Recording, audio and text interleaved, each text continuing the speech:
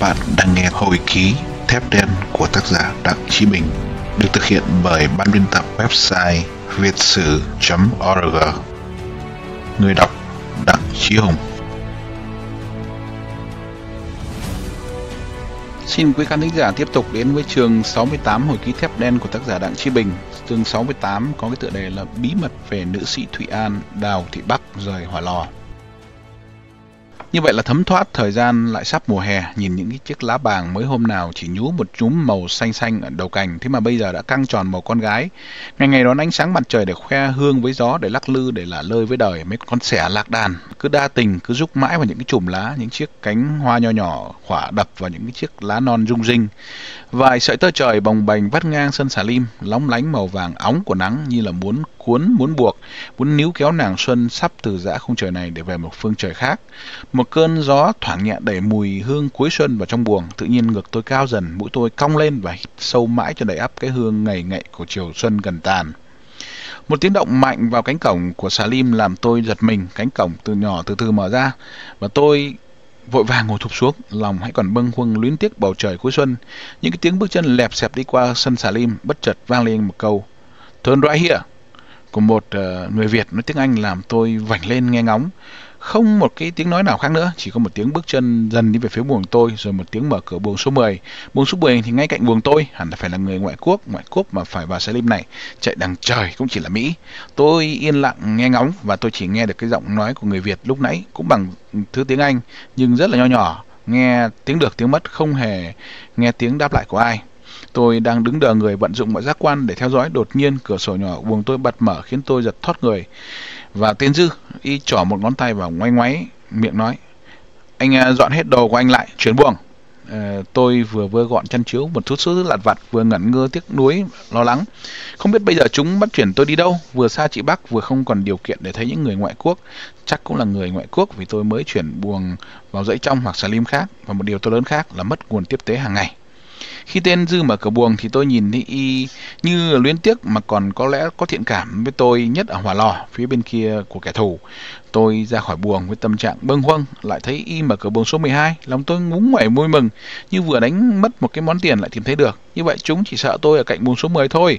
Ở buồng số 12 này tất cả những điều kiện thuận lợi tôi tưởng mất vẫn còn. Tôi loay hoay quét dọn lại sạch sẽ căn buồng, chợt tôi nhìn thấy trên tường, chỗ gần phía cùng có mấy dòng chữ khắc sâu vào tường. Tại nơi này, tôi đã dùng đũa chọc hủy bỏ con mắt của tôi để phản đối chế độ cộng sản độc tài phi nhân đàn áp dã man văn nghệ sĩ Thụy An, Lưu Thị Yến.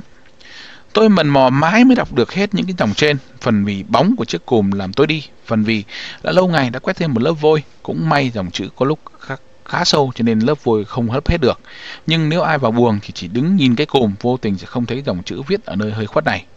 Tôi lại càng tò mò, nhìn khắp nơi quanh bức tường, cả một chỗ khuất để xem may ra có khác gì khác không. Trong khi óc tôi vẫn dở lại những cái dòng không gian xưa, khi đó tôi còn ở miền Nam, có lần tôi được đọc trên tờ báo Nhật báo Tự Do, thiên phóng sự bên kia bức màn sắt của ông Hoàng Hải Thủy. Trong đó có nói đến cuộc đời tình cảm cũng như sự nghiệp của nữ sĩ Thụy An, mối tình của bà có liên quan đến Hoàng Quốc Việt. Theo ông Hoàng Hải Thủy thì Hoàng Quốc Việt là một tên điệp viên số 1 của miền Bắc, hiện y là chủ tịch tổng công đoàn. Y là một trong số năm tiền đầu sỏ. Những ngày lang thang nơi đó ở miền Bắc, tôi thường thấy một cái khung hình, có năm tấm hình được treo mọi nơi ở những cái cổng chào, những nơi cơ quan khắp ở các tỉnh trên miền Bắc, chính là giữa là Cáo Hồ sát hai bên là Trường Trinh Phạm Văn Đồng hai bên ngoài nữa là Võ Nguyên Giáp và Hoàng Quốc Việt như vậy, nữ sĩ Thị An đã bị giam ở buồng này, bây giờ không biết bà ở đâu, đã chết hay còn sống ở trại nào. Chẳng hiểu sao tôi cứ hình dung tưởng tượng nữ sĩ Thị An chắc là đẹp lắm, mà sau này đi khi chạy trung ương tôi được gặp nhiều nhân vật trong đó có Thụy An, Nguyễn Văn Tiến, Tôn Thất Tần, Lý Cà Sa, Nguyễn Chí Thiện vân vân, mới biết bao nhiêu vấn đề, lúc đó tôi mới có điều kiện để hiểu ra cụ thể về sự việc nêu trên. Chiều hôm ấy lại thấy có một người nước ngoài nữa được à, đưa vào buồng số 8 vì có hai người ngoại quốc cho nên dạo này có nhiều cán bộ ra vào xà lim. Đa số là cán bộ lạ. Qua những ngày trước đây tôi đã thấy ở buồng số 7 giam hai người. Một người gầy cao chừng 35 tuổi nước da bánh mặt còn người kia tầm thước khoảng 30 tuổi, đặc biệt là có hai con mắt lồi ra ngoài như hai con mắt cá vàng.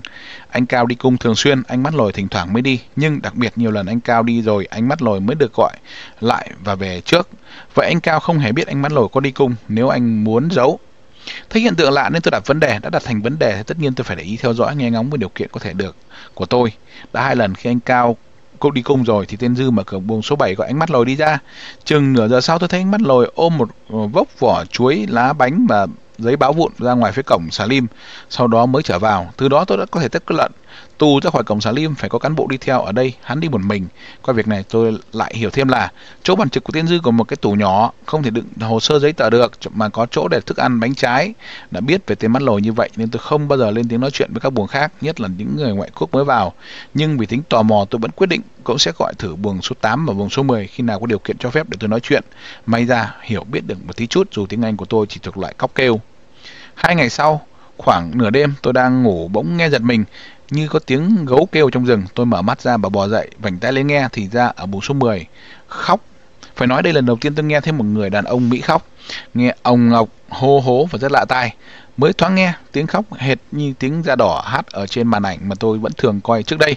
Mãi một lúc sau, vì có tiếng nấc và tiếng sụt xịt tôi mới biết đó là tiếng khóc. Sau đó bỗng một tiếng khóc khác lại dư dử lên ở buồng số 8. Có lẽ vì nghe thấy buồng số 10 khóc, vì đông cảnh lại cũng đông bao nên cũng chạnh lòng rào rạt nguồn cơn. Tôi hiểu hai anh Mỹ ở đây thì đã sướng quen rồi, bây giờ là phải cảnh này, điều hưu tịch mịch hoang vắng giữa nghĩa địa Tha Ma suốt ngày đêm, bảo sao không buồn, đấy là các anh không bị cùng. Còn nếu cùng như chúng tôi, chắc các anh chả chịu nổi đâu. Tôi biết chắc chắn là các anh là phi công Mỹ, vì sáng hôm qua khi gọi cung buồng số 10, tôi đã liều lừng đứng trên quan sát theo kiểu của tôi, tôi đã thấy được anh mặc bộ đồ sọc đỏ màu đậm như tôi. Vì cao lêu nghêu trên đầu của anh gần sát bên xà lim, ở ngoài cổng xà lim, anh đang nói và chỉ trỏ ra sân trại chung với cán bộ lạ hoắc mặc quần áo thường dân. Anh số 10 có bộ mặt giữ tướng, bộ râu quai nón như chổi xẻ càng làm cho đôi mắt anh à, thêm thêm xanh. À, cho người trông như vậy nhưng mà hiền lành tử tế. À, dù trong lòng rất là thông cảm và tội nghiệp cho anh nhưng cứ tưởng tượng ra nét mặt anh khi khóc tôi cũng phải mỉm cười một mình tôi cũng đã thấy mỗi ngày hai lần một tên cán bộ dẫn một anh tù hình sự bê hai tay hai cái đĩa to trên mỗi đĩa thường có một khúc bánh mì một quả chuối và một miếng thịt to bằng ba đốt ngón tay nhìn khẩu phần ăn của phi công mỹ tôi đã phải đăm chiêu suy nghĩ Ê, đời là thế. Con nhà giàu bao giờ cũng hơn. Người dân của nước lớn dù thế nào chăng nữa, dù ai có hô bình đẳng dân chủ đến rách mép, vẫn cứ hơn người dân một nước nhỏ. Rất nhiều vấn đề ở trên cuộc đời này nếu nói một về một việc nhưng trong thực tế thì mọi việc lại hoàn toàn khác, hoàn toàn không giống nhau. Nhưng đã bảo đời là thế thì còn nghĩ chừng suy nghĩ làm gì cho quái cho cái mệt óc. Thôi, hãy trở về với Salim. Bởi vì ánh nắng những cái lá, chiếc lá bàng thời kỳ con gái từ màu lá chuối non nó đã trở thành màu sẫm, những cái chùm hoa nho nhỏ đã bắt đầu xuất hiện lại. Hàng ngày những cái trận nồm nam thổi bay rắc tứ tung đầy sân những cánh hoa bàng vàng hoe bé tí. Thật là cũng lạ cây bàng này to như vậy mà bông hoa lại bé tí tẹo. Cứ hai ngày thiên dư lại mở cửa buồng cho tôi ra quét sân một lần. Chỉ quét hoa bàng mà mỗi lần cũng hốt được cả thúng. Nhiều khi lúc tay tôi vốc lên từng cái vóc hoa vàng ngào ngạt hương thơm, bỏ vào sọt, tôi tưởng tượng nếu không phải tù, được sống trong cảnh này cũng là tuyệt rồi. Những khi quét sân, thỉnh thoảng lúc tiên dư cúi xuống bàn hí hoái viết, tôi lại liếc liếc về buồng số 10 mong anh phi công đứng lên để nhìn cho một cái cho đời đỡ tê. Tôi liếc hoài mà khung cửa sổ của anh vẫn là chỉ màn ảnh trống trơn, chả thấy nổi hình. Tôi biết anh nhớ quê hương, nhớ gia đình, anh buồn nhiều lắm, nhưng suốt ngày mà cứ ngồi gục trong căn buồng nho nhỏ để mà suy nghĩ thì anh cũng chẳng thể quyết được gì hơn. Hãy thỉnh thoảng đứng lên ngắm thiên nhiên thả hồn bay bổng với trời mây hoa lá, anh bạn chiến hữu của tôi ơi. Tôi cũng hiểu rằng uh, trước khi tụi chúng đưa vào Salim, chúng đã bắt buộc anh học thuộc nội quy Salim rồi, nhưng học là một chuyện, vì đấy là lý của chúng, còn chúng ta phải có ý của chúng ta nữa chứ. Mấy hôm trước, hai đêm liền máy bay Mỹ xâm nhập bầu trời Hà Nội, tôi đã tưởng được thưởng thức nhiều trận mà tôi gọi là hoa đăng. Tôi dám đảm bảo từ trước đến nay, chưa có ai được tổ chức một đêm hoa đăng sinh động và vĩ đại như vậy. Tối nay tôi đi ngủ sớm để mà đến đêm nếu có mở hội còn thức mà tham gia. Chợt nghe tiếng cán bộ mở cửa buồng và buồng số 6, buồng của chị Bắc. Tôi vội cúi xuống sát nền nhìn qua khe cửa sổ.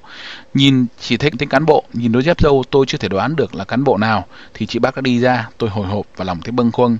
Vì chị Bắc còn ôm hết cả chăn màn đi như vậy là chuyển buồng, chuyển xà lim hay là chuyển trại? Khi hai người tới sân xà lim, tôi lắng nghe và tính qua tiếng bước chân, tôi đã gần tới cổng xà lim, tôi mới dám đứng dậy. Lúc này, nếu tên cán bộ đó quay hẳn người lại, y mới nhìn thấy tôi. Nhưng nếu muốn quay lại như vậy thì qua những cái động tác của cơ thể trước khi xoay người, tôi có thể biết trước được. Hơn nữa, quay hẳn lại ngược lại 180 độ như vậy, nhanh nhất thì cũng phải mất 1 phần 10 giây. Thời gian này cũng đủ để tôi ngồi thụp xuống, chẳng ai ra xa lạ, đó là tiền thế mũi cà chua. Thảo nào, y vào lúc nào tôi cũng không hay. Tên này thì rất là quái. Nhìn hình ảnh của chị Bắc mặc chiếc áo cánh nâu đổi đội khắc chiếc khăn vuông, màu xanh nhạt hai tay túm, bọc chăn màn khẽ nẹ y ạch tập tễnh bước khỏi cơn Salim lòng tôi bồi hồi xót thương và thương cảm. Như vậy là chị Bắc đã chuyển khỏi Salim này rồi, chúng sẽ đưa chị về đâu? Qua Salim khác hay hỏa lò? Hay đi qua trại trung ương, vân vân. Đó là những hình ảnh cuối cùng của chị Bắc mà tôi nhìn thấy. Để rồi, không bao giờ dù một nghe một ai nói về chị. Lúc bây giờ trời đã vào đầu hè năm 1966 và như vậy chị Bắc ở Salim này được 6 tháng. Hai anh phi công Mỹ càng về sau càng khóc nhiều, cứ vào lúc đêm khuya. Còn nhiều đêm tiếng khóc của hai anh cũng làm tôi chạnh lòng nhớ nhà, khiến tôi cũng phải bị lôi cuốn vào vòng hồi bồi hồi thổn thức. Tôi không muốn nghe hai anh khóc nữa, tôi vẫn đứng nóng nảy bực bội của tuổi trẻ nên không dàn được, tôi quát lên. Don't cry anymore. Cả hai anh đều bật im tiếng khóc và có lẽ anh tưởng đến cán bộ quát tháo. Quát xong, các anh lại im lặng, tôi lại thấy buồn cười, xen vào một chút ân hận. Các anh có biết không, tôi rất thích nói chuyện với các anh. Dù sao cuộc đời các anh và tôi cũng có một khoảng thời gian cùng hít thở bầu trời không khí hỏa lò mà các anh gọi là khách sạn Hilton gì đó.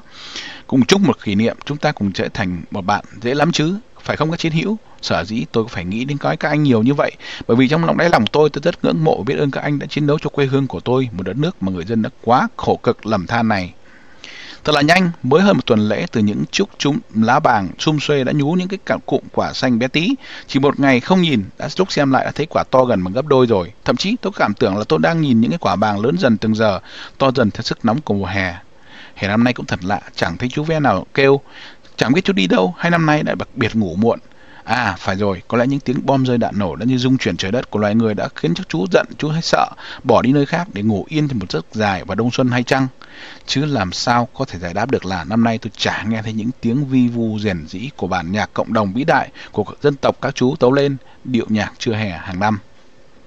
Chỉ khoảng à, 10 ngày sau thì cả hai vị anh phi công Mỹ đã được ra trại chung rất tiếc là tôi chưa tìm được kịp nào nói chuyện các anh. Chỉ đoán và việc các anh phải ra chào Salim có thể là vì ngoài trại chung các anh quen tính ngang tàng của người hùng trong thế giới tự do mà tôi vẫn nhìn thấy trên phim ảnh nên nó tỏ trí ý khí quật cường không khuất phục với cộng, tụi cộng sản. Nhưng các bạn cũng như tôi chỉ biết chuẩn bị đương đầu với dao búa súng đạn mà không biết rằng và không ngờ rằng kẻ thù của chúng ta lại khốn nạn thực tiện túm ngay cái thử huyệt của con người để mà chi phối. Đó là cái dạ dày của chúng ta chúng hèn thật, nhưng cũng phải công nhận một điều là chúng, dùng cái hèn của chúng đã từng làm cho những quái kiệt anh hùng ba đầu sáu tay, đã từng ăn gan cộng sản phải chịu phép một bề, hoàn toàn ngoan ngoãn theo sự chỉ huy của chúng. Hai anh phi công Mỹ ở buồng số 10 và buồng số 8 đã chạy chung vào buổi sáng, thì ngay buổi chiều hôm ấy tôi đã nghe được những tiếng léo nhéo báo cáo, qua đó tôi biết được là chúng đưa anh vào buồng, đưa vào buồng số 9 hai cô gái từ ngày chị bác đi tôi cũng thấy buồn, vừa vắng một người bạn đồng chí đồng nghiệp, vừa mất một nguồn chi viện quan trọng cuộc sống hàng ngày. Cái bụng đã quen được hưởng cái thêm tiêu chuẩn, bây giờ phải trở lại mức cũ một cách đột ngột. Cái mức chỉ đáp ứng một phần ba lượng dạ dày mong muốn hàng bữa. Vì vậy, hàng ngày sau, tôi vẫn bắt buộc phải áp dụng cái phương pháp nhịn buổi sáng để dành buổi chiều ăn hai khẩu phần vào một ngày và chỉ ngày thứ ba, thứ sáu mỗi tuần. Vì mãi lo cho cái ăn nên có một số người vào, tôi trả đôn đáo nép chỗ này ngó chỗ kia để tìm hiểu xem người mới tới như mọi khi. Chiều hôm nay, sau khi các buồng đã trả bát xong, tự nhiên Tiên Dư và mở cửa buồng tôi bằng một giọng nho nhỏ nhưng hôm nay có vẻ tình cảm hơn. Anh ờ, đi ra bàn gặp tôi. Khi tôi đã ngồi ở ghế đâu đấy, y tỏ vẻ thân mật. Ngày mai ờ, tôi ờ, nghỉ phép hàng năm, sẽ có cán bộ khác đến thay. Vậy anh phải nhớ lời tôi, trong thời gian tôi không có mặt ở Salim, anh đừng để cán bộ nào bắt được anh vi phạm nội quy. Nếu tôi về, nghe các đồng chí phản ảnh thì anh đừng trách tôi. Qua câu ân cần dặn dò của y, tôi thấy y cũng thừa hiểu tiếp người của tôi hay tò mò sục sạo chỉ có điều y chưa bắt tôi tại trận mà thôi. Hoặc là y biết nhưng mà lờ đi không muốn bắt nhưng dù thế nào tôi cũng không thể phủ nhận là y có thiện cảm với tôi. Thực vậy theo nguyên tắc chả có một tên cán bộ nào lại gọi tôi trong Salim bảo mình sắp đi phép cả lại còn dặn lo điều này điều kia. Nghĩ như vậy nên tôi mới tươi nét mặt. Ông à, về phép ở đâu? Về quê. À, quê ông ở đâu? Ở Hà Nam. Ông cho tôi gửi lời thăm hỏi và chào mừng gia đình. Y có vẻ xúc động đầu chóp mũi đỏ lên rồi rung rung mắt in nhìn tôi đăm đăm và gật đầu. Thấy thời cơ thuận lợi, tôi hỏi luôn một vấn đề thắc mắc trong lòng mà chưa có dịp. Thưa ông, hôm nọ có một ông đi với ông Trì và ông Lê vào buồng thăm tôi. Ông biết ông là ai không? Y hơi ngập ngừng nhìn tôi một lúc rồi chậm rãi. Ông Nguyễn Văn Long, giám đốc Sở Công an Hà Nội. À thì ra thế, thằng nào hai tên Trì và Lê sẽ nể sợ là phải. Tên Long này còn là đại tá thường vụ thành ủy thủ đô của cả nước sâu chủ nghĩa đến đấy. Trên đài truyền thanh Hà Nội tôi vẫn thường xuyên nghe Y nói nhiều về Y. Sau khi trả lời tôi câu này, hình như Tiên Dư cảm thấy rằng y cũng nói đang hơi nhiều mà lại còn nói cả những điều không được phép nói. Vì vậy, y tỏ ý bảo tôi đi vào. Thưa quý khán thính giả, chương 68 hồi ký thép đen đến đây là kết thúc. Xin cảm ơn và hẹn gặp lại quý khán thính giả vào chương 69 một chương trình lần tới. Xin cảm ơn.